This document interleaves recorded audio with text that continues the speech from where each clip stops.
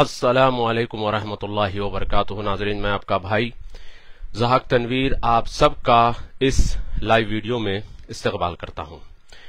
दोस्तों हैदराबाद के अलीम खां फलकी, जो कि एक सोशल एक्टिविस्ट है, इन्होंने हाल ही में एक वीडियो जारी की थी और इस वीडियो में इन्होंने अहल हदीस लोगों के ऊपर कुछ इल्ज़ाम लगाए हैं बिलखसूस शेख मोहम्मद रहमानी साहब के ऊपर इन्होंने कुछ गंदे और घटिया किस्म के इल्ज़ाम इन्होंने लगाए हैं। जब ये वीडियो मेरे पास पहले पहुँचा तो मैंने देखा, कुछ दोस्तों ने मुझे व्हाट्सएप पर भेजा और कहा कि भाई, इस वीडियो में आपका भी नाम लिया गया है। जब मैंने वीडियो देखा तो ये वीडियो देखकर मुझे ऐसे लगा जैसे कि किसी दीवान खाने में बूमर अंकल जो होते हैं, बैठकर चाय पर और कॉफ़ी पर या केक खाते हुए जो है उर्दू अखबार पढ़ के जो अपने आप को जियो पोलिटिकल एनालिस्ट समझकर तबसरे करते हैं, इसी टाइप की मुझे मुझे बात लगी। यानी कि कोई एकेडमिक बात नहीं थी, कोई ऐसी उसके अंदर जो है अपडेटेड इंफॉर्मेशन नहीं थी, कोई जो है इसके अंदर क्या कहते हैं कि ऐसी कोई बात नहीं थी इसके अंदर के जिससे आपके इल्म में इजाफा हो। वही पुरानी दकियानूस बातें, वही जो है आउटडेटेड बातें उसके अंदर थी। तो देख के मुझे लगा कि क्या इस वीडियो का ये लेवल है कि हम इसका जवाब दें। तो फिर मैंने एक दो दोस्तों से बात की। तो उन्होंने बताया कि जहाक भाई, इसका जवाब दे दीजिए, क्योंकि इसके अंदर शेख रहमानी साहब के ऊपर घटिया इल्ज़ाम लगाए गए हैं। लिहाजा एक आलिम की इज़्ज़त और उनकी इसमत के लिए मैं ये वीडियो का जवाब दे रहा हूँ। मैं कोशिश ये करूँगा कि अपने जज्बात को काबू में रखूँ, कंट्रोल करते हुए बात करूँ, क्योंकि कभी क्या होता है कि जब आप देखते हैं कि लोग इलॉजिकल और इरेशनल बातें जब करते हैं तो आप जो है, आप इरिटेट हो जाते हैं। और यही कैफियत मेरे साथ हुई जब मैं ये वीडियो देखा। एक नंबर की इलॉजिकल और इरेशनल बातें जब फलकी साहब कर रहे थे तो लिटरली मुझे भी बहुत इरिटेशन हुआ। मगर मैं कोशिश करूँगा कि अपने इरिटेशन को कंट्रोल करते हुए आप लोगों के सामने इनके जो एतराजात या जो इल्ज़ाम हैं, इसका जवाब मैं आपके सामने रखूँ। देखिए, सबसे पहली चीज़ जो इन्होंने इसके अंदर कही है आ, वो ये कि ये असल में शेख मोहम्मद रहमानी के मर्तबे को नहीं जानते। शेख मोहम्मद रहमानी का जो जो कैलिबर है वो इससे नावाकिफ है। बल्कि ये प्रॉब्लम जो है अक्सर इखवानियों का यही प्रॉब्लम है कि ये समझते हैं कि दीन का इल्म दुनिया का इल्म पूरा का पूरा इल्म इनको है ये अपने आप को तो तीस मार खां समझते हैं। ठीक है? अपने आप को तोप समझते हैं। मगर जब आप इनकी यानी इनकी इनकी एकेडमिक जो है आर्ग्यूमेंट्स को देखेंगे तो आपको लगेगा कि भाई ये किस किस्म की बातें कर रहे हैं। तो इन्होंने जो, यानी कि शेख मोहम्मद रहमानी साहब के बारे में कहा कि ये दिल्ली के कोई आलिम हैं, और फिर आखिर में उन्होंने कहा कि आप होते कौन हैं अहल हदीसों को रोकने वाले? आप होते कौन हैं अहल हदीसों के बारे में रिप्रेजेंट करने वाले? आप अपने अकाबरीन को सुनिए, आप अपने बड़ों को सुनिए, आप अपनी जमात के बड़े लोगों से बात करिए। तो मुझे यहाँ पे लगा कि, हेलो भाई साहब, आपको पता ही नहीं है कि शेख मोहम्मद रहमानी साहब है कौन? अगर नहीं पता है तो एटलीस्ट गूगल कर लेते एटलीस्ट डॉक्यूमेंट्री तो देख लेते शेख अब्दुल हमीद रहमानी की। आपको अंदाज़ा लग जाता है कि शेख मोहम्मद रहमानी है कौन? मसला क्या है कि ये लोग जब दाढ़ी देखते हैं, टोपी देखते हैं तो इनको लगता है कि भाई ये कोई मौलवी होंगे। मेरे साथ भी बहुत बार हुआ। हैदराबाद में जब दावतों में जाता हूँ तो मेरे साथ भी होता है। दाढ़ी, टोपी, तोप देखकर समझते हैं कि भाई कोई होंगे मौलवी साहब, मदरसे में अरबी अरबी पढ़ाते होंगे। जब पता चलता है कि भाई काउंटर टेररिज्म में हमने नेदरलैंड से सर्टिफिकेट लिया है, तब जाके लोगों का मुँह खुल जाता है। अच्छा काउंटर टेररिज्म है नेदरलैंड से। तो इन लोगों का प्रॉब्लम है अखवानियों का। ये अपने आप को बहुत बड़ा तीस मार खां समझते हैं, मगर खोदो, खोदे पहाड़ तो निकला निकला चूहा वाला मसला इनका होता है। तो शेख मोहम्मद रहमानी का जो कैलिबर है, वो मैं आपको बता देता हूँ। शेख मोहम्मद रहमानी साहब जो हैं, शेख अब्दुल हमीद रहमानी रहमा के बेटे हैं। और शेख मोहम्मद, अब्दुल हमीद रहमानी रहमा कौन है? ये बहुत बड़े हिस्टोरियन थे। बहुत बड़े आलिम दीन थे माशाल्लाह इंडिया के ठीक है? और शेख मोहम्मद रहमानी के अंडर में 16 मॉडर्नाइज मदारिस चलते हैं ठीक है? ये छोटे छोटे कमरे वाले मदारिस नहीं 16 मॉडर्नाइज मदारिस। और जो उलमा की जमात है इनको काफ़ी इज़्ज़त करती है इनकी काफ़ी इनको इनकी इन, इनका इन, आ, इनका एहतराम करती है। वो इसलिए क्योंकि माशाल्लाह इन्होंने ऐसे ऐसे स्टूडेंट्स तैयार किए हैं जिन्होंने यूनाइटेड नेशंस में तक बात करके उन्होंने ठहर के उन्होंने बात की है। ठीक है? मुफज्जल खान का आप देख लीजिए प्रोफ़ाइल जाकर। मुफज्जल खान का। शेख मोहम्मद रहमानी के स्टूडेंट है। यूनाइटेड नेशंस में जाकर इन्होंने अरबिक में तकरीर की। है? प्रोड्यूस किया तो उन्होंने कभी ऐसा स्टूडेंट बातें करने से नहीं होता। मसला इनका यह होता है खवानियों का या जमात इस्लामी का, ये बताते ऐसा है कि भाई पूरी कौम, पूरी उम्मत को, की ज़िम्मेदारी जो ना हमारे ऊपर है। ठीक है? मगर रिज़ल्ट क्या होता है? रिज़ल्ट ज़ीरो होता है। नील होता है। कोई कोई मतलब कोई इन्होंने सब्सटैंशियल रिज़ल्ट जो है दुनिया को नहीं दिया है। बहरहाल, शेख मोहम्मद रहमानी साहब के बारे में इनको सबसे पहले जानना चाहिए था कि शेख मोहम्मद रहमानी साहब हैं कौन और फिर इनका कैलिबर क्या है। फिर उसके बाद आप बात करिए, ठीक है? जब समझ में आती है बात। बस आए, उठा के बोल दिए, आप होते कौन है? और उल्टा रहमानी साहब को बोल रहे हैं। क्या? क्या आप अकाबरीन से पूछो? अकाबरीन से पूछो, रहमानी साहब को बोल रहे हैं और उल्टा बोल रहे हैं कि भाई, आप अपने जमात के बड़ों के साथ मिलकर रहो। अरे क्या छोटा बच्चा समझे क्या रहमानी साहब को? अरे पहले ढंग से देख तो लेते, उसके बाद आके रहमानी साहब के ऊपर बात करते। ठीक है? और दूसरी बात यह है, ये कह रहे हैं कि करने दो जिसको जो करना है। आपको पीएफआई के बारे में क्या है टेंशन आपको इखवानी खवारिज का क्या टेंशन है? जिसको जो दिल में आया करने दो। अरे तो भाई, हम भी कॉन्फ्रेंस किए, हमको भी करने दो। यहाँ क्यों तकलीफ़ हो रही है? जिसको जब जो दिल में आया करना ही है तो फिर कॉन्फ्रेंस करने पे पेट में दर्द क्यों हो रहा है? हुँ? हम्म?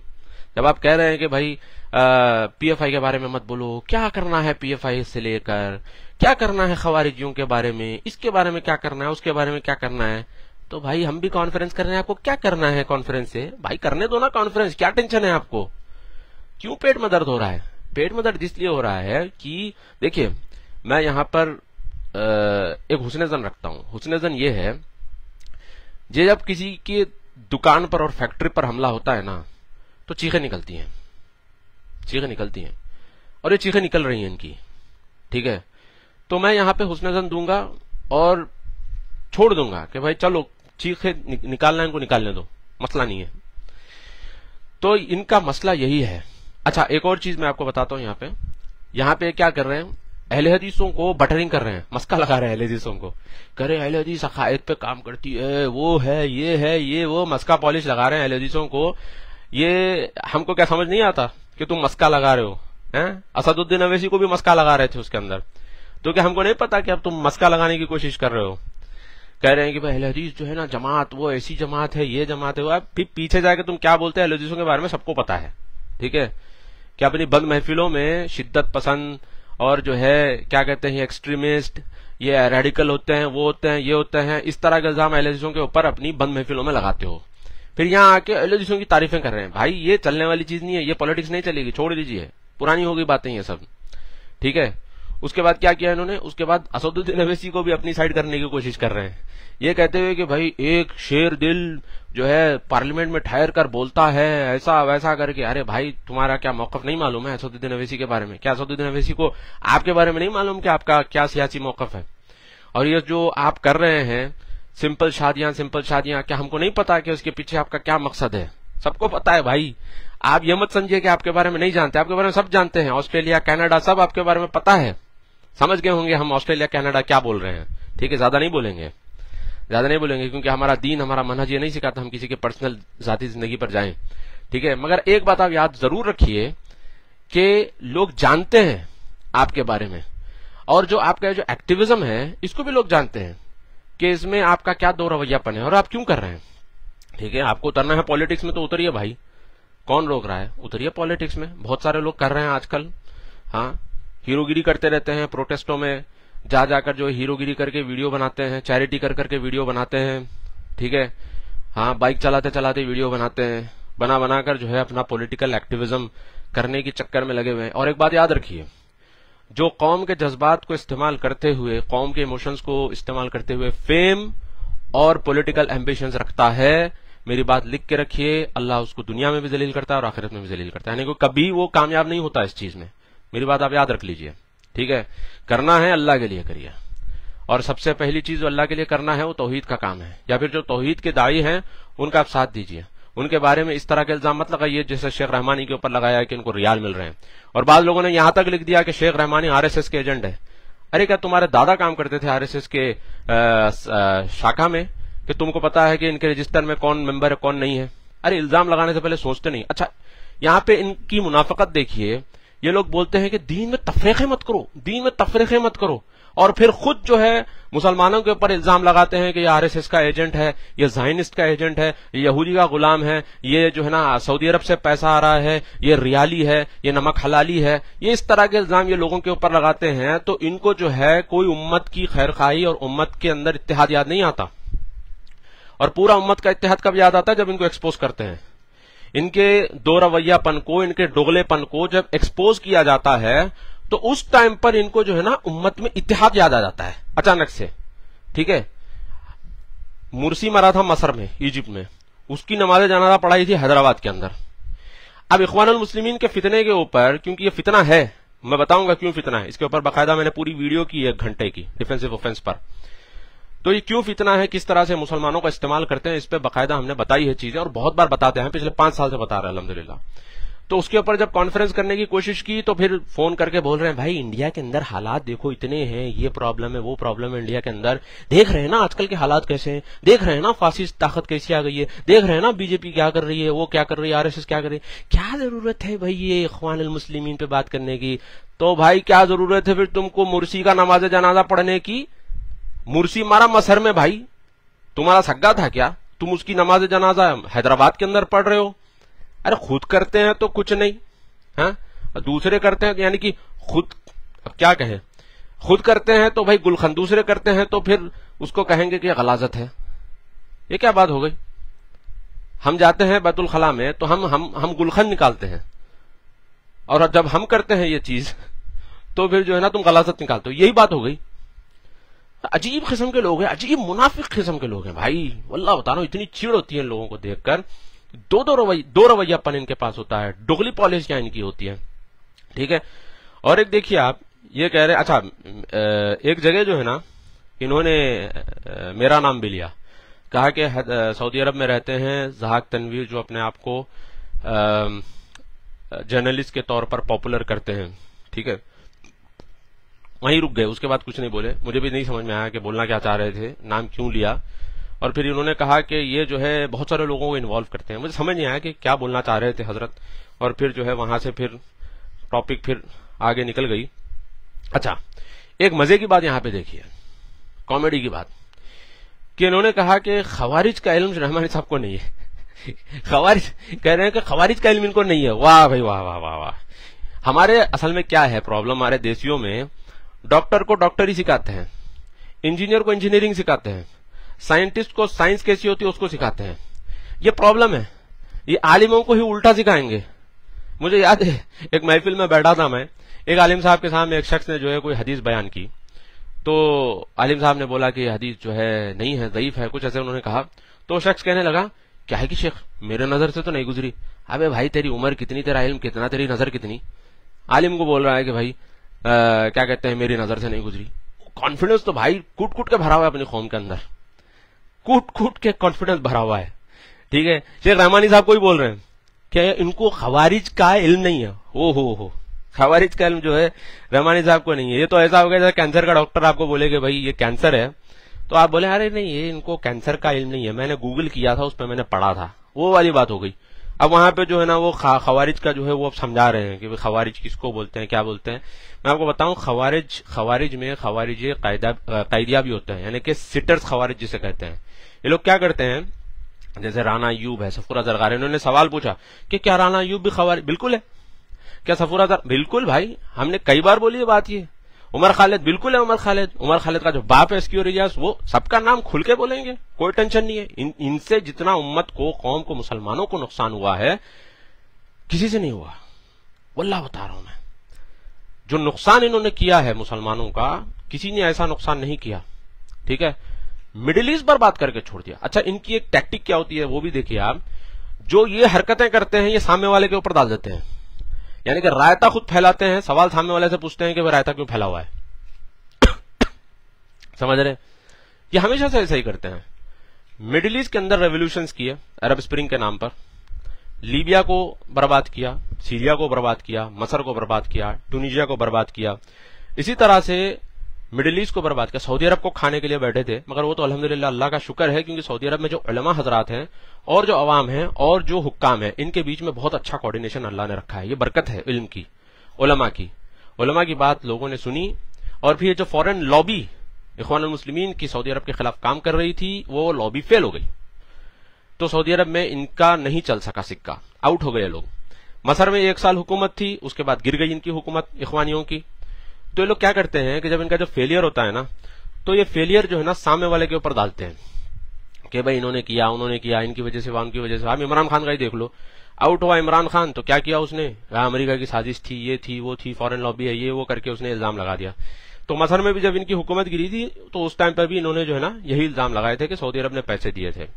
वो ये नहीं देखे कि जो लोग इकवान मुस्लिमीन को चांस दिए थे, उन्हीं लोगों ने उनको निकाला प्रोटेस्ट प्रोटेस्ट से आए थे प्रोटेस्ट से ही गए। बहरहाल, इनकी डोगली पॉलिसियाँ होती है और ये कह रहे हैं कि ये जो है ना, शेख मोहम्मद रहमानी के डेफिनेशन के ऊपर जो है यानी कि सवाल उठा रहे हैं। कह रहे हैं कि शेख मोहम्मद रहमानी ने कहा कि ये जो है गवर्नमेंट के खिलाफ लोगों को वर्गलाते हैं, हुकूमत, क्या कहते हैं वज़ीर आज़म के खिलाफ, और जो है वज़ीर दाखिला के खिलाफ, यानी होम मिनिस्ट्री के खिलाफ, और जो है प्राइम मिनिस्टर के खिलाफ ये लोग बोलते हैं। तो ये कह रहे हैं कि अच्छा तो इनके खिलाफ बोलने से खवारिज हो जाएँगे? इनके खिलाफ बोलने से नहीं। स्टेट के खिलाफ बोलने से। आप पॉइंट समझे ही नहीं। आप पॉइंट समझे नहीं वहाँ पे। स्टेट के खिलाफ बोलने से। एक्स्टेब्लिशमेंट के खिलाफ बोलने से। ठीक है? देखिए डेमोक्रेसी का फ्रेमवर्क है। उसमें यह है कि आप हुकूमत से ना इतफाकी रख सकते हैं। कोई टेंशन की बात नहीं। आप ना इतफाकी रखिए हुकूमत से। मगर आप एक अल्टीरियर मोटिव के ज़रिए प्रोटेस्ट करवाते हैं। इकोनॉमी को अटैक करने की कोशिश करते हैं। और हम सब जानते हैं ये चीज़ें। खैर आवाम में बताने की नहीं अगर मैं बताने बैठूँगा तो आवाम को समझ में भी नहीं आएगा कि डिसइन्फो लैब की जो रिपोर्ट आई थी, ठीक है? Indian American Muslim Council Boston Rana यूब ये सब पता है हमको कि ये पूरा कैसा होता है, ये पूरा जो नेक्सस है, ये कैसा नेक्सस है, ठीक है? अलहमदिल्ला काउंटर टेररिज्म पढ़ा है हमने। तो हमको पता है कि जो लेफ़्ट का नेक्सस है और जो इखवान का नेक्सस है, ये कैसे इनका कोलेबोरेशन होता है, इनका जो कबाल है, इनका जो इकोसिस्टम है कैसे चलता है? अलहमदिल्ला अच्छी तरीके से इसका अंदाज़ा है। दीन का इस्तेमाल, इस्लाम का इस्तेमाल, हिजाब का इस्तेमाल, अल्लाह के रसूल वसल्लम के नाम का इस्तेमाल, ये लोग कैसे करके अपनी सियासत करते हैं? ये तारीख गवाह है और हाल ही में जो मुसलमान हुकूमतें गुजरी हैं, ये भी इस चीज़ की शाहिद और गवाह हैं। बहरहाल, इन्होंने जो है एनआरसी और शाहीन बाग का भी यहाँ पे एग्ज़ाम्पल दिया कि क्या वो करने वाले, क्या वो लोग भी खवारिज हैं। देखिए, शाहीन बाग जो था, मैं खुल के बता रहा हूँ आपको, जो समझना है समझिए। शाहीन बाग एक बाकायदा सोची समझी एक स्ट्रेटेजी थी, क्योंकि वो एक ऐसा एरिया था जहाँ से इकोनॉमिकल रोड ब्लॉक इन्होंने करने की कोशिश की शाहीन बाग से। ठीक है?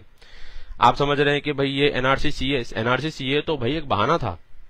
उसके पीछे जो पूरा इन्होंने किया काम, मिसाल के तौर पर दम्माम में जो हमारे पास यहाँ पे आरामको है। आरामको जाने की जो रोड है, अगर आप उसको दस दिन भी अगर आप उसको ब्लॉक कर दें आरामको जाने की रोड तो सऊदी अरब की इकोनॉमी को अच्छा खासा नुकसान पहुँचता है। तो ये करने की कोशिश की चंद फॉरेन लॉबीज ने। और इस्तेमाल हुए मुसलमान, ठीक है? इनका जो फ्रेमवर्क है काम करने का, इखवानियों का, या खारजियों का, ये लेफ़्ट का, ये काम करने का तरीका क्या होता है? पहले आपको ऐसे अनकॉन्स्टिट्यूशनल प्रोटेस्ट में लग जाते हैं, ठीक है? प्रोटेस्ट आप कर सकते हैं डेमोक्रेसी में बोल रहा हूँ मैं। वैसे उलमा ने कहा प्रोटेस्ट आप नहीं कर सकते, मगर आप कहेंगे कि भाई हम डेमोक्रेसी में रहते हो तो हम करना चाहते हैं तो उसके लिए आपको इजाज़त है। मगर उसके लिए भी तरीकेकार है परमिशन होना होता है, फिर प्लेस जो है डिसाइड होती है। ये सब होता है। शाइन बाग की तरह प्रोटेस्ट नहीं होता। तो इन लोगों ने जब प्रोटेस्ट किया ये सब प्रोटेस्ट में क्या हुआ? शाइन बाग के अंदर क्या हुआ? सबको पता है। कितनी लड़कियाँ वहाँ पे प्रेग्नेंट भी सबको पता है। भाई ये सब हम कोई हिंदुत्व की आ, क्या कहते हैं लैंग्वेज बात नहीं कर रहे हम रियलिटीज बात कर रहे हैं। गवाह है हमारे पास इन चीज़ों की। ठीक है? इससे क्या क्या नुकसान होते हैं? ने बहुत पहले कह दिया था कि प्रोटेस्ट से नुकसान होता है। और ये नुकसान हुआ लोगों को। तो आपने जो कहा कि वो एनआरसी ये इसको इसको लेकर जो शाहीन बाग में प्रोटेस्ट हुए बिल्कुल गलत था ये। प्रोटेस्ट करने का आपको हक है मगर इसका तरीका है ऐसा नहीं है। ठीक है? अच्छा एक और चीज़ आपने कही कि भाई ये जो हिजाब है हिजाब उतारने वालों की आ, की क्या आप जो है उनकी पैरवी करेंगे? मस्जिद गिराने वालों की पैरवी करेंगे? आप इसकी पैरवी करेंगे क्या उसकी पैरवी करेंगे? देखिए एक बात मैं आपको बताता हूँ। हिजाब का जो मसला हुआ मैंने पूछा कि भाई हिजाब कहाँ पे बैन हुआ? तो कहा क्लासरूम के अंदर स्कूल के अंदर भी हिजाब पहन सकते हैं ठीक है? अब ये जो पूरा मसला शुरू हुआ, मैं हिजाब की टॉपिक में ज़्यादा डिटेल में नहीं जाऊँगा इस पर मैंने दो तीन बार वीडियोस बना दी हैं। मैं ये बताना चाह रहा हूँ कि वहाँ के लोकल उलेमा ने खुद कहा ये बात, बेंगलोर के, कि भाई ये मसला जो है हम पीसफुली सॉल्व कर सकते थे हुकूमत के साथ बातचीत करके। हुकूमत के साथ आप बातचीत नहीं करना चाहते। और राइट विंग के हिंदू है, उनके साथ आप बातचीत नहीं करना चाहते। एक वैक्यूम आपने क्रिएट करके रखा हुआ है राइट विंग के हिंदू और मुसलमानों के दरमियान में। और ये जो वैक्यूम है, इसका इस्तेमाल जो है, ये इखवानी और लेफ़्ट विंग वाले बखूबी इसको इस्तेमाल करते हैं।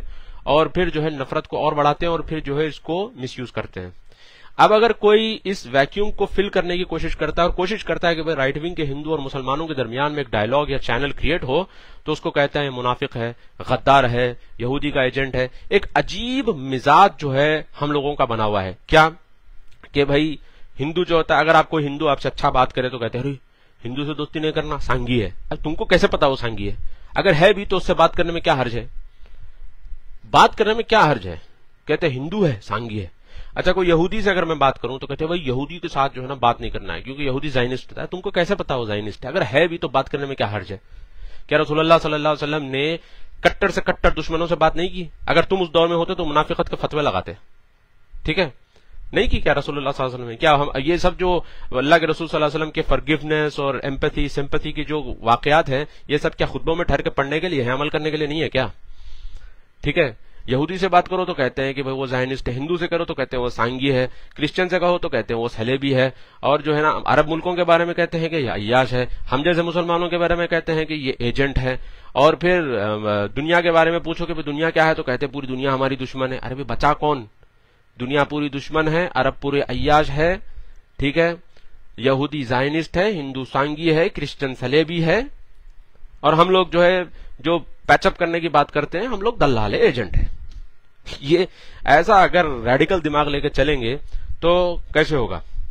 अच्छा एक और चीज़ जो है उन्होंने कहा कि अहले हदीस लोग जो है इल्ज़ाम लगाते हैं कि मुनकरीन हदीस है अकीदे में कलल है ये है वो है, है तो है। बुरा क्यों मान रहे हैं? अकीदे में कलल है तो दुरुस्त करो। अकीदे में कलल है भाई तो दुरुस्त करो ना। इसमें बुरा मानने की क्या बात है? अगर मुझे कोई कहे कि भाई आपके जो है अकीदे में खलल है या फिर कोई प्रॉब्लम है तो मैं बराबर इसके ऊपर कोशिश करूँगा कि भाई इसको मैं दुरुस्त करूँगा अगर कोई दलील मिलती है, मैं अकली घोड़े थोड़ी दौड़ाऊँगा वहाँ पर। कोशिश करूँगा कि भाई ठीक है, काल अल्लाह, काला रसोल्ला जो है, मैं उसको मानू। क्यों नहीं मानू? कहते हैं, मुनकरीन हदीस का इल्ज़ाम लगाते हैं। तो मुनकरीन हदीस है तो है भाई। मौदूदी ने क्या किया? दज्जाल वाली हदीसों का इनकार किया। और फिर जो है, ऐसी बहुत सारी हदीसें, और फिर सैयद कुतुब ने क्या किया? अकीदे में खलल था कि नहीं था? सैयद कुतुब ने क्या किया? साहबा के ऊपर कैसे कैसे इल्ज़ाम लगाए? ठीक है? तो भाई देखिए फिर जाकर। है तो है प्रॉब्लम पर प्रॉब्लम को है तो फिर एक्सेप्ट करो ना। तो एक्सेप्ट नहीं करते, कहते हैं कि इल्ज़ाम लगा रहे इल्ज़ाम है तो फिर इल्ज़ाम को जो है आप कवर करने की कोशिश करिए। और फिर ये कह रहे थे कि भाई हम कहते हैं कि जो है हमार जो है रमज़ान में पटाखे फोड़कर चंदे जमा करने की जमात है। बिल्कुल है। ये बात दस साल पहले शेख अनीसुर रहमान आजमी ने खुद कही थी, मैंने खुद लिया था इंटरव्यू दस साल पुरानी बात बता रहा हूँ मैं। बहुत पहले से लोग जानते हैं कि हमाज जो है, ये किस तरह की शरीर जमात है। बुरा लगता है लोगों कोई मसला नहीं है। है तो है। रमज़ान में रमज़ान शुरू होने से पहले मैंने ट्वीट किया था कि रमज़ान आने वाला है, हो सकता है हमाज गड़बड़ करेगा, चंदों के लिए। हुआ। मगर ये एक अच्छी बात इस रमज़ान में ये हुई कि इनकी जो शरारत थी, ज़्यादा दिन नहीं चल सकी। क्यों? वो इसलिए क्योंकि उर्दुगान साहब जो है इसराइल के साथ हाथ मिला चुके थे। और टर्की के अंदर जो बड़े बड़े पोजीशन पर जो इखवानी बैठे हुए थे, उन सबको डिपोर्ट करना पड़ा लंदन को। लंदन में बैठे हुए हैं सारे के सारे अब। जो यहूद नसारा के गुलाम कह दूसरों पे फतवे लगाते थे ना, पूरे लंदन में बैठे हुए हैं, पूरे इखवानी। ठीक है? तो उर्दुगान साहब उनको डिपोर्ट कर दिया क्योंकि यूएई के साथ और मसर के साथ और इसराइल के साथ। इन लोगों के साथ डील हुई कि भाई मुस्लिम ब्रदरहुड के लोगों को आउट करो। तो उर्दुगान साहब का साथ इस बार नहीं था। इस बार उर्दुगान साहब जो है साथ नहीं दे सके हमास का। इसलिए ज़्यादा दिन तक उनका नहीं चल सका। ठीक है? शरीर जमात है हमास। देखा आपने एक वीडियो? मस्जिद अक्सा के ऊपर ठहर कर प्रोटेस्ट कर रहा है, उसको पेशाब आया तो वहीं पे बॉटल खोला बॉटल में पेशाब कर दिया। अरे क्या है? कौन से दिन पे अमल कर रहे हैं भाई आप? मस्जिद अक्सा के ऊपर ठहर के आप बॉटल के अंदर पेशाब कर रहे हैं। ये शरीर किस्म के लोग हैं। पटाखे फोड़ते हैं, फुटबॉल खेलते हैं मस्जिद अक्सा के अंदर। ठीक है? फुटबॉल खेलते हैं मस्जिद अक्सा के अंदर। क्या क्या नहीं करते? तो ये इखवानियों का मनहज है, मस्जिद और जुम्मे की नमाज़। ये दोनों को अपना बेस बनाते हैं प्रोटेस्ट करने के लिए। आपको करना है तो अलग जाके करिए ना भाई, मस्जिद को क्यों बदनाम कर रहे हैं? जुम्मे को क्यों बदनाम कर रहे हैं? जुम्मे को प्रोटेस्ट करते हैं, नमाज़ के बाद प्रोटेस्ट करते हैं। अब पुलिस के जहन में, गैर मुस्लिमों के जहन में यही आएगा कि भाई जुम्मा आया तो भाई खौफ का दिन। पता नहीं क्या हो जाएगा, कहाँ पथरमबाजी हो जाएगी, कहाँ पे बस फोड़ देंगे, कहाँ पे क्या हो जाएगा। पुलिस डिप्लॉय कर रहे हैं, पुलिस वालों को अलग टेंशन तो भाई ये आप क्या मैसेज दे रहे हैं लोगों के सामने? मुल्क को क्या मैसेज दे रहे हैं? कि जुमा आया तो डरना शुरू करो। ठीक है? जुमे की नमाज़ को मुसलमान जा रहे हैं तो डरना शुरू करो। एक तो हिजाब को बदनाम की, हिजाब को इस्तेमाल करके हिजाब को बदनाम किए। इसी तरीके से जो है, ये क्या कहते हैं, आप जुमे को बदनाम कर रहे हैं। कल के दिन अल्लाह ना अल्लाह ना करे, अल्लाह ना करे, अगर जुमे के ऊपर कोई पाबंदी लगना शुरू हो जाए, इसके जिम्मेदार इखवानी होंगे। लिख के रखे मेरी बात को। इसके जिम्मेदार कौन होंगे? इखवानी होंगे। फिर वो फिर बेवा रोना रोना शुरू करेंगे कि भाई जुमे जुमे की नमाज़ नहीं पढ़ने दे रहे। अरे भाई, तुमने जुमे को और मस्जिदों को तुमने जो है इस्तेमाल किया अपनी सियासत के लिए। और अगर उसके ऊपर कोई रिएक्शन होता है तो फिर रोते हो कि भाई हमको इबादत करने नहीं दे रहे हैं। तो ऐसे बदमाशों से रोकना ये उलमा का काम है। और उलमा किए माशाल्लाह, वो जो काउंटर टेररिज्म कॉन्फ्रेंस हुई हैदराबाद के अंदर मासब टैंक पर, उसमें उलमा ने, माशाल्लाह, लोगों को एजुकेट करने की कोशिश की। अब इनको तकलीफ़ हो रही है। क्यों? क्योंकि इनका वल्चर एक्टिविज्म बंद हो जाएगा। इनका धंधा पानी बंद हो जाएगा। अच्छा फिर उन्होंने एक जगह जो है बहुत गलीज अल्फाज इस्तेमाल किए शेख रहमानी के लिए। उन्होंने कहा कि नमक हलाली का फरीजा है। अरे, एक तरफ़ बोल रहे हैं कि जो है इज़्ज़त करना चाहिए, वो करना चाहिए, उम्मत में जो है इख्तलाफ नहीं होना चाहिए, ऐसा वैसा। और फिर जो है मुँह उठाए, बोल दिए, नमक नमक हलाली की का इल्ज़ाम आप लगा रहे हैं शेख रहमानी के ऊपर। अब मैं आपसे पूछता हूँ, पैंतीस साल आप सऊदी अरब के अंदर थे तो मुसलमान की एक सिफत होती है कि जिस थाली में खाता है, उस थाली में छेद नहीं करता, ठीक है? अगर मैं यही अल्फाज आपके आपके लिए इस्तेमाल करूँ तो कैसा लगेगा? कि आप शेख रहमानी साहब के बारे में बोल रहे हैं कि नमक हलाली? और आप क्यों नमक हरामियत कर रहे हैं? ठीक है? कह रहे हैं कि ह्यूमन राइट्स के इश्यूज़ हैं ह्यूमन राइट्स के इश्यूज़ अच्छा तो सऊदी अरब में थे, वक्त याद नहीं क्या ह्यूमन राइट्स के इश्यूज़ और कौन आपको जो है जंजीरों में पकड़ के लेके आया था सऊदी अरब के भाई? आपको पैंतीस साल इधर रहना ही रहना है। आपको ह्यूमन राइट्स के इश्यूज़ नज़र आ रहे तो चले जाना था। अच्छा फिर उन्होंने एक बात कही कि भाई ह्यूमन राइट्स के इश्यूज़ जब अमेरिका से निकलते हैं, और वही अमेरिका जिनको ये कहते हैं कि दज्जाल है और जो है अमेरिका के खिलाफ जो है गालियाँ देते हैं, उसी अमेरिका का हवाला ले रहे हैं। लेकर करेंगे अमेरिका जो है सऊदी अरब के खिलाफ जो कोई रिपोर्ट निकालने की कोशिश करता है तो चेक पहुँच जाता है। आपको कैसे पता चेक पहुँचता है? भाई, इल्ज़ाम लगाने से पहले चार बार सोचिए। आपको कैसे पता कि भाई चेक पहुँच जाता है? आप पहुँचाए थे क्या चेक वहाँ पे आप काम करते थे क्या चेक पहुँचाने का? फिर किस दावे से आप ये कह रहे हैं? और कह रहे हैं सारी दुनिया जानती है। वो हो। ये क्या दलील है सारी दुनिया जानती है? हम भी कुछ भी इल्ज़ाम लगा देंगे आपके ऊपर। कहेंगे कि सारी दुनिया जानती है। कुछ भी बोल देंगे, कहेंगे सारी दुनिया जानती है। अच्छा उन्होंने एक और मज़े की बात कही। क्या कहा कि आप मदीने में पढ़ के चले गए, हम पैंतीस साल रहे, हम जानते हैं वहाँ का सिस्टम। ओ भाई, हम भी रहे सऊदी अरब के अंदर। और यह हमारे पब्लिक का जो है एक अजीब मतलब मसला है। सऊदी अरब के बारे में कुछ भी बोल देंगे। पूछो तो कहते हैं, पंद्रह साल थे, बीस साल थे। बात तो ऐसा कहते हैं, हमारे मामा पंद्रह साल से है, हमारे चाचा बीस साल से है, हमारे अब्बा वहाँ पे जो है ना तीस साल रहे थे। अरे तो बात तो ऐसे करते हैं जैसे कि आप किंग सलमान के दरबार में वहाँ पे पैलेस में रह के आप ये सब चीज़ें देख के आए हैं। बात तो ऐसे करते हैं। वे तीस साल थे, पैंतीस साल थे तो क्या भाई आपकी ज़िंदगी ऑफ़िस से घर घर से ऑफ़िस? ठीक है ठीक है, आपने कारोबार किया। आपको कारोबार में नुकसान हुआ, ये किस्मत की बात है, कदर की बात है। बहुत सारे लोगों का कारोबार क्लिक भी हुआ, लूलू का नहीं हुआ, मोहम्मद यूसुफ साहब का। अल्लाह ने कैसी बरकत दी उनके कारोबार में? कैसा, माशाल्लाह देखो, लूलू की कितनी बड़ी चेन सऊदी अरब के अंदर है, मिडिल ईस्ट के अंदर। ये मिसालें क्यों नहीं देते? हमेशा हर चीज़ में नेगेटिव क्यों नज़र आता है? हर चीज़ में नेगेटिव क्यों नज़र आता है? ठीक है? लूलू देख लीजिए, स्प्लैश देख लीजिए आप यहाँ पे, सेंटर पॉइंट देख लीजिए, धनुबे देख लीजिए, रेड टैग देख लीजिए। ये बड़े बड़े ब्रांड्स मुसलमानों के हैं और जो है, इंडियंस के हैं। ठीक है? ये चीज़ें क्यों मिसाल नहीं देते भाई आप? हज और उमरे का जो सिस्टम है माशाला सऊदी अरब का कैसा सिस्टम है? दुनिया मिसाल देती है। मदीना यूनिवर्सिटी जो सऊदी अरब की है गिनेस बुक ऑफ़ में उसका नाम आया है। Guinness book of world records में उसका नाम आया है। ये क्यों नहीं बताते? पॉजिटिविटी क्यों नहीं बताते सऊदी अरब की?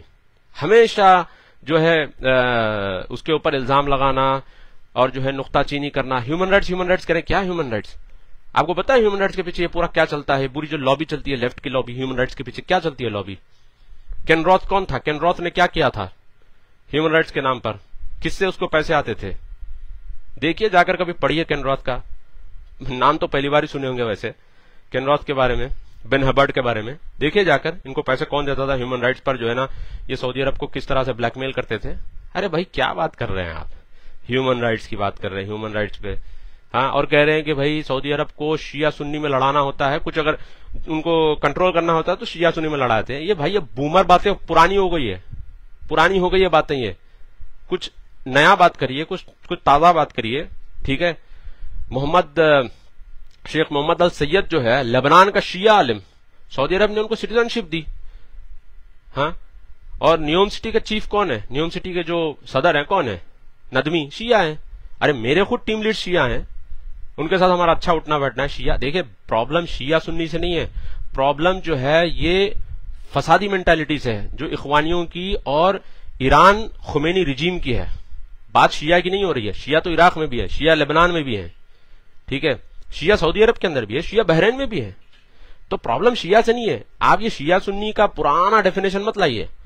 प्रॉब्लम है खुमैनी रिजीम के एक्सपेंशनिस्ट प्रोजेक्ट से। ठीक है? ये बात आप समझने की कोशिश करिए पहले। और सऊदी अरब, माशाल्लाह, सऊदी अरब किसी किसी मुल्क के अंदर मिलिशियाज को फंड नहीं करता जिस तरह से ईरान करता है। साठ के ऊपर मिलिशियाज है, सीरिया के अंदर, अफ़गानिस्तान के अंदर कहाँ कहाँ इन्होंने मिलिशियाज बिठा रखी है? और कह रहे हैं कि ईरान के खिलाफ बोलते ईरान के खिलाफ ईरान सगा है तुम्हारा।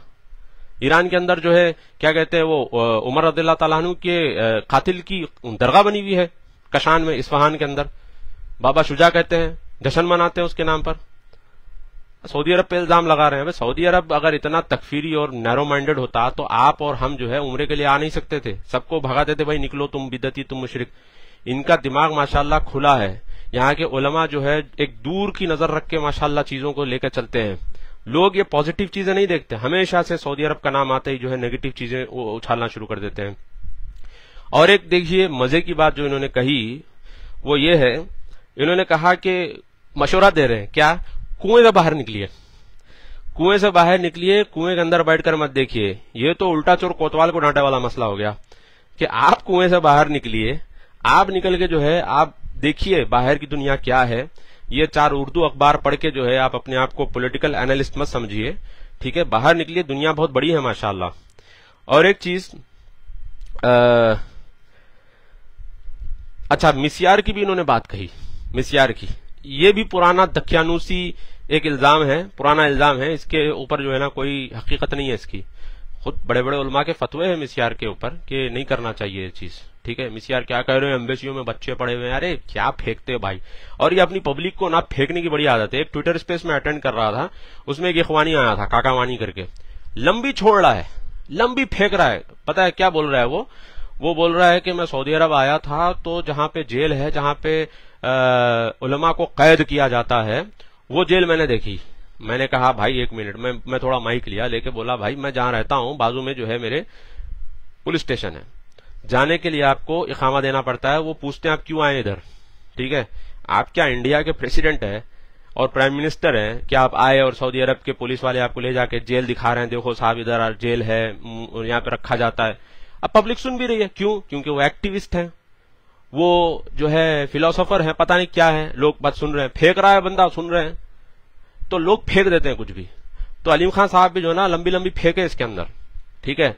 इसके अलावा, एक एक और ट्विटर स्पेस में देख रहा था। उसके अंदर भी एक बंदा अमेरिका में बैठा हुआ है। कह रहा है कि वो एक्टिविस्ट है। और क्या बोल रहा है कि मोहम्मद बिन सलमान के जो अब्बा थे, ये दीन की खिदमत करते थे, मोहम्मद बिन सलमान नहीं कर रहा है। मैंने पूछा, कौन थे उनके अब्बा? तो कहने लगा, उनके अब्बा किंग फैसल थे। मैंने बोला, भाई, पागल हो गया क्या? मोहम्मद बिन सलमान के अब्बा किंग सलमान है। और किंग फैसल उनके ताया थे। तो लोगों को जो है ना कुछ पता तो होता नहीं है। फेंक देते हैं। जो फेंकना है फेंको और एक दो चार इंग्लिश के लफ्ज इस्तेमाल करो। फासिस्ट ताकतें और ये वो करके जो है ना चंद सोफिस्टिकेटेड वर्ड्स इस्तेमाल कर दो और बताओ कि जो है ना हमको बहुत पता है और अपना फेक इंटेलेक्चुअलिज्म झाड़ो तो फिर पब्लिक यकीन भी कर लेती है। ठीक है? और एक चीज़ देखिए यहाँ पे ये जो है आ, अच्छा जेलों में कह रहे हैं कि सऊदी अरब की जेलों में उलमा पड़े हुए हैं। मगरिब का टाइम खरीब हो रहा है, जल्दी खत्म करता हूँ मैं। कह रहे हैं कि जो है सऊदी अरब की जेलों में जो है, उलमा पड़े हुए हैं। इसके बारे में कभी नहीं बोलते। कौन से उलमा भाई? दस नाम तो ले लो। जब नाम इनके आएँगे ना, इनके मुँह से, फिर वो उलमा के क्या नजरियात थे बता दो। फिर वो खुद कहेंगे, नहीं नहीं, इस्लाम मीन्स पीस इनको पता ही नहीं है कि उलमा कौन थे, कौन से उलमा। सलमान ओदा सफ़र हवाली, नासिर अल फहद ठीक है? फारिज जहरानी। अरे, कहते हैं, ये उलमा थे भाई, इनको जेल में डाल दिया हक बोलने पे। अरे भाई, कोई भी हुकूमत जो है डिसिडेंट्स को और सेडिशन क्रिएट करने वालों को जेल में ही डालती है। कोई भी हुकूमत ऐसे लोगों को एंटरटेन नहीं करती जो मस्जिदों के मेम्बरों पर ठहर के या फिर जो है ना, अपने इश्तियारात के ज़रिए ये बावर कराए अवाम को कि हुकूमतों को पलटाना है डिस्कॉर्ड क्रिएट करना है सेडिशन क्रिएट करना है, लोगों को बाहर लाना है और जो है रेवोल्यूशन क्रिएट करना है। कोई हुकूमत बर्दाश्त नहीं करती। कौन सी हुकूमत बर्दाश्त करती है बताओ? मुर्सी बर्दाश्त किया था जब उसकी हुकूमत आई थी पावर में, जब उसके खिलाफ रेवोल्यूशन शुरू हुआ था। बर्दाश्त किया? कोई नहीं करता। कोई नहीं करता। आप कहते हैं, भाई, ये फ्रीडम ऑफ़ स्पीच है, वो है, फला ढिमका है। जब आपके खिलाफ होता है तो कहते हैं, यहूदी की साजिश है। जब खुद करते हैं तो बोलते हैं, ये अल्लाह की मदद है। जब खुद के खिलाफ होता है तो कहते हैं, यहूदी की साजिश है। ठीक है? तो इनका मसला ये है, कह रहे हैं कि उलमा जेल में चढ़ रहे हैं। तुमको पता भी है जेल में क्या है। और ह्यूमन राइट्स की जब आपने बात की, मैंने खुद कुछ ऐसे लोगों से बात की जो जो है एलेज एक्यूज थे। उन्होंने कहा कि, भाई, हम जेल गए थे। उनको किस तरह की सर्विस दी गई थी? जब, माशाल्लाह, केस क्लोज हो गया तो फिर उनको नौकरी भी वापस मिल गई। ठीक है? ये क्यों नहीं बताते भाई आप? है ऐसा मुल्क जहाँ पर जो है आपको जेल में डाला जाए ड्यूरिंग द इंट्रोगेशन फिर उसके बाद आपको बकायदा नौकरी भी दी जा रही है आपको वापस पैसे भी मिल रहे हैं आपको इज़्ज़त भी मिल रही है मीडिया ट्रायल नहीं हो रहा है मीडिया में बदनामी नहीं हो रही है। दिखा सकते हैं ऐसा एग्ज़ाम्पल नहीं। ये बात नहीं बताते कहते ह्यूमन राइट्स का इश्यू है। क्या कुछ भी बोल देते हैं कुछ भी फेंक देते हैं लोग भी जो है ना सुन भी लेते हैं। अच्छा जी आ, उन्होंने कहा कि जो है काफिराना जुमला शेख रहमानी साहब ने अदा किया कि खिलाफत राशिदा पर, नऊज बिल्ला उन्होंने जो कहा। भाई साहब, ये खिलाफत राशिदा पर नहीं कहा उन्होंने। उन्होंने जो खिलाफत के नाम पर लोगों को बावर कराते हैं उस पर बात की। ठीक है? 2014 में क्या हुआ? हम सब जानते हैं। आप जिन लोगों की ताइद में सब बात कर रहे हैं ना, मुझे पता है किसकी ताइद में आप ये बात कर रहे हैं। कौन आपको ये कंटेंट दिया है, वो सब हम जानते हैं। ठीक है? उसके नजरियात क्या है? दाइश के बारे में वो भी हम जानते हैं। बस इतना आप जहन में रखिए। कि उसके नज़रिया दाइश के बारे में क्या है, वो भी जानते हैं। तो लोग खिलाफत के नाम पर जो बर्बाद हुए, खिलाफत के नाम पर जो लोग बर्बाद हुए, और खिलाफत के नाम पर आज जो रेफ्यूजी कैंपों में सड़ रहे हैं, ठीक है, खिलाफत राशिदा के नाम पर लोगों ने एक इमेजिनरी और रोजरी ड्रीम लोगों को दिखाया। दिखाकर कहा कि भाई ऐसी खिलाफत आई है ओहो हो साहबा जैसा मंजर है। वहाँ पर जब आप जाते हैं तो भाई, क्या कहते हैं अपना, औरतें जो है बिल्कुल सिक्योर हैं, बच्चे खेल रहे हैं, और जो है साहबा जैसा दौर है, कैपिटल पनिशमेंट हो रहा है। ये वो, हो हो हो। लोग जो है इस, इन चीज़ों में आकर मुतासिर हुए, और जब लोग गए, जाने के बाद क्या हुआ? बर्बाद हो गए। रेफ्यूजी कैंपों में आज भी सड़ रहे हैं और फिर कोई कंट्री उनको लेने के लिए तैयार नहीं है, क्योंकि वो अपनी मर्ज़ी से गए थे। तो ये फितना है। क्यों नहीं बोलेंगे भाई इसके ऊपर? बराबर बोलेंगे। हमारे नौजवान है, हमारी कौम है। हम ज़रूर चाहेंगे कि हमारी कौम मुसलमान जो है, इस्तेमाल ना हो किसी भी पॉलिटिकल एम्बिशन के लिए। बराबर हम लोगों को गाइड करेंगे। और आप कह रहे हैं, जिसको जो करना है, करने दो। हम भी कर रहे हैं ना, हमको भी करने दो। हम भी रोक रहे हैं लोगों को। ऐसे रेडिकल ऑर्गेनाइजेशन से लोगों को बचा रहे हैं। ऐसे नजरियात से लोगों को रोक रहे हैं तो आपको क्यों तकलीफ़ हो रही है? अच्छा आखिर में आ, एक दो बातें करते हुए मैं अपनी बात को खत्म करता हूँ। उन्होंने कहा कि भाई इतिहाद में सुराख करना ये क्यों कर रहे हैं? इतिहाद क्यों तोड़ रहे हैं लोगों का? और जो है क्यों जो है लोगों को एक दूसरे के खिलाफ? अच्छा एक मज़े की बात इन्होंने एक और कही। उर्तुरुल उर्तुरुल ड्रामे का इन्होंने नाम लिया। कहा कि भाई उर्तुरुल जो है ड्रामा देखो पैसों के लालच में लोग कैसे जो है बिक जाते हैं। क्या कहा? उर्तुरुल ड्रामा देखो, पैसों के लालच में लोग कैसे बिक जाते हैं। तो भाई, ये चीज़ उर्दुगान को ही जाके देख लो। 2023 में खिलाफत लाने वाला था। 23 से पहले जो है इसराइल के साथ, यूएई के साथ, मसर के साथ, सऊदी अरब के साथ, सबके साथ मिल लिया। अब पैसों की लालच में जो सबसे ज़्यादा बिका है, वो आपका खलीफा उर्दुगानी है ठीक है? आप खुद कह रहे हैं कि भाई उर्तुरुल देखो, आपको मालूम होता कि भाई, पैसों की लालच में कैसा बिकते हैं। वो सबसे बड़ा एग्ज़ाम्पल आपका खलीफा उर्दुगानी है, उसको ही देख लो सबसे पहले। ठीक है? और कह रहे हैं कि भाई डिबेट के लिए हम चैलेंज करते हैं। आओ वो सिंपल शादियों के ऊपर। वो तो खैर भाई वो फालतू फालतू, मुझे तो फालतू की टॉपिक लगती है। एक नंबर की फालतू टॉपिक ये कुछ नहीं है इनका। ये इनका पॉलिटिकल एम्बिशन है। ये थोड़ा सा नाम कमा लेंगे इसमें। सिंपल शादियों के नाम पर। थोड़ा सा नाम वाम हो जाएगा तो फिर पॉलिटिक्स में उतरने आसानी होगी उनको। बस यही चीज़ है। और कह रहे हैं कि भाई इसके ऊपर पहले दवच्चो दो, आपकी जमात में लड़ाइयाँ हो रही हैं, आपकी जमात में ये हो रहा है, आपकी जमात में वो हो रहा है, पहले इसके ऊपर फोकस करो, उसके ऊपर फोकस करो। तो हम भी आपको एक छोटा सा मशवरा ये देंगे, अल्लाह के रसूल वसल्लम की हदीत है कि तुम में से बेहतरीन शख्स वो है जो अपने घर वालों के साथ अच्छा रहता है, मैं अपने घर वालों के साथ अच्छा रहता हूँ। बस इतना ही बोलेंगे, इसके आगे कुछ नहीं बोलेंगे। बहुत बहुत शुक्रिया आप लोगों का कि आप लोगों ने वीडियो देखा है। असला वरहमतुल्ला वरकू